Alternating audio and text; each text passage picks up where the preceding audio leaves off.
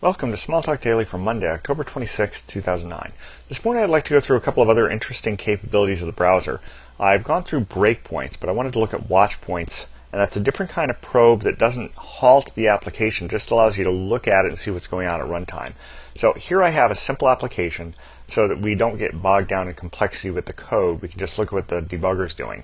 So in here I have my add one method. What I'm going to do is I'm going to put the cursor over here at the end of this method and I'm going to do insert probe. And what I'm going to do is have an expression watch. And for an expression watch, what you're allowed to do is put in some kind of conditional code up here at the top. This has to result in a Boolean. So I'm going to say count value is greater than, say, 4. And down here, you have to have something that resolves to a string. So I'm going to say current count value colon. And then I'm going to put in a space there, append count value print string. So I'm going to hit OK on that. And now I get my probe down there. I'm going to move that aside a bit. And notice nothing happens when I hit to 3 to 4, but now I'm over 4. Now it's at the end of the method, so it didn't trigger, so it's going to be kind of one behind. So I'm going to put it over here, and you see that it's trailing behind what happened.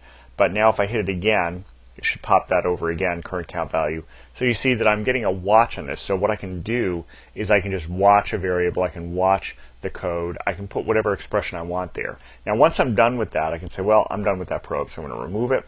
It's going to pull that out.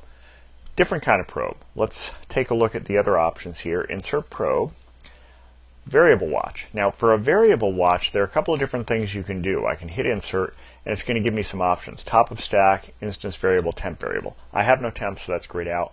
I'm not going to watch the instance variable. I want to do top of stack because that's kind of interesting. What it's going to do is at the point I hit this probe, it's going to show me what's at the top of the stack, what object is sitting there. So at this point, it shouldn't be terribly surprising.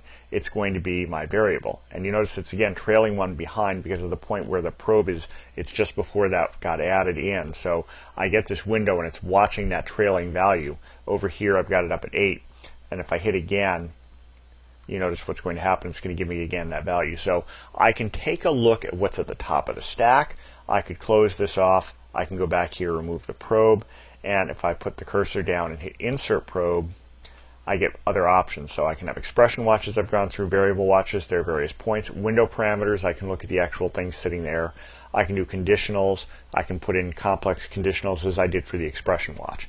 So that's kind of what I wanted to cover today, and that gives you an idea of what you can do with the debugger where you don't want to break the code, you just want to be looking at what's happening in the code while it's running. Maybe you have some complex set of things going on.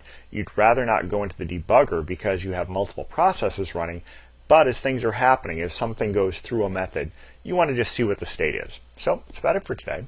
Until next time, have fun with Smalltalk.